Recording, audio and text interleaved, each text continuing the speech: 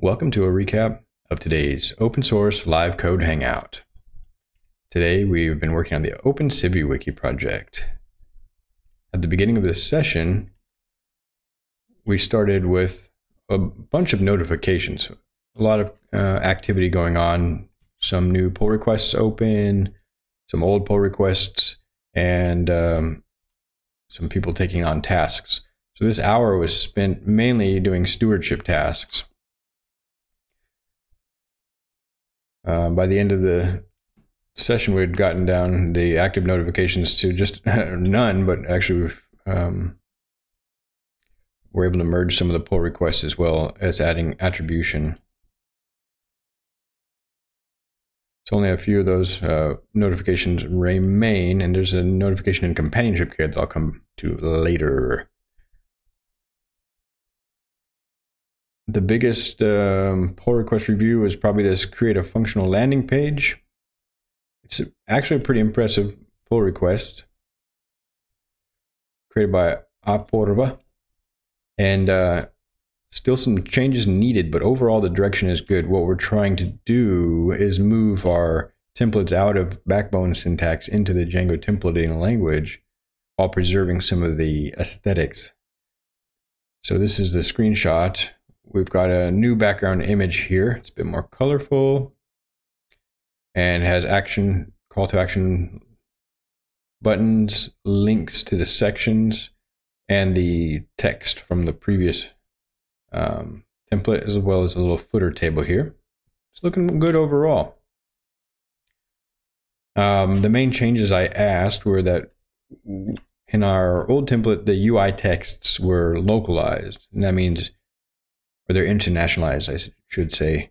Uh, the texts are written in English, and we add these translate tags around the text, and then we can localize them or translate them into other locales, their languages, um, as you know, part of our effort to support a like a diverse user base. The project is originally targeted at people in the United States, and generally English is a primary language in these types of projects, but nonetheless, we're going to um, towards a more international user base. So internationalization becomes a top priority. Uh, and then the only other things on this pull request uh, were relating to probably, uh, I'm not sure how the template code was generated, but there's a bunch of like um, kind of formatting uh, related line breaks and I just suggest we use kind of paragraphs and let the natural formatting take effect. So minor minor details. Uh, they're not quite lint level uh, about indentation and things like that that a linter would catch. But overall, this uh, is a large pull request and it's pretty far along. I think we should be able to merge it within the next couple of review sessions. Uh, we have some other work in progress. We're adding type uh, checking to our project so that we can make you know catch bugs before they uh, hit production, so to speak, by static analysis. We're not going to add runtime type checking or any kind of really strict type safety, but we do want to use types as a useful uh, developer experience tool. Uh, another pull request that's uh, at an early stage, but nonetheless um, has uh, is following good process now uh, is to set up development fixtures. And essentially, those fixtures will help us kind of scaffold and test the site content. Uh, they may be used for initializing a development um, environment. So you can start a development environment and fill in some dummy content. I'm, we'll have to figure out the exact uh, case for these. This comes out of a book called Improve Your Django Developer Experience and we're using a Factory Boy library. So admittedly, I don't know very much about how Factory Boy is intended to use or these fixtures are intended to be used. So I can't offer a whole lot of specific uh, help at this point. So I'll have to do some research off the stream to help move this pull request forward. And unless we're following the correct process, we've linked the pull request to a given issue. See how GitHub recognizes this word closes, this keyword, and it will automatically link the actual issue. We now have a description where previously we didn't have a title or description. So that's important. And where the code right now is fairly generic. It's kind of coming straight from the documentation. So now the next step is to make the code a bit more specific and functional.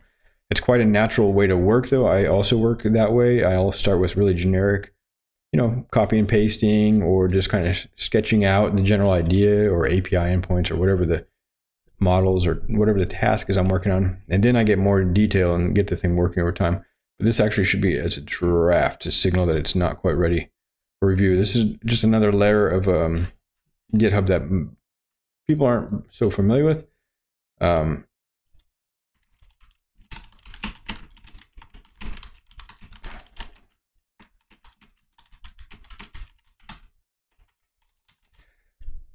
and so that's part of the learning curve too. There's a lot, a lot to learn, a lot of details. We were learning Django, you know, we're learning Python, learning these packages like for mocking data, learning how GitHub works, learning how to collaborate, learning how CiviWiki community collaborates. There's so many things to learn. So I don't uh, expect people to have this knowledge, and I'm trying to help um, slowly guide people into um, you know more success, you know, being successful in the tasks they take and and being successful contributors to the Open CiviWiki community. And I think those are the two main ones that I reviewed today. So we'll continue uh, in another session, but right now it's been a bit of a, a long day and I'm going to wrap things up. So this has been another a recap of another open source live code review session. I didn't actually write the code try to write some code in an upcoming session. In any case, I hope you're doing well and look forward to seeing you around.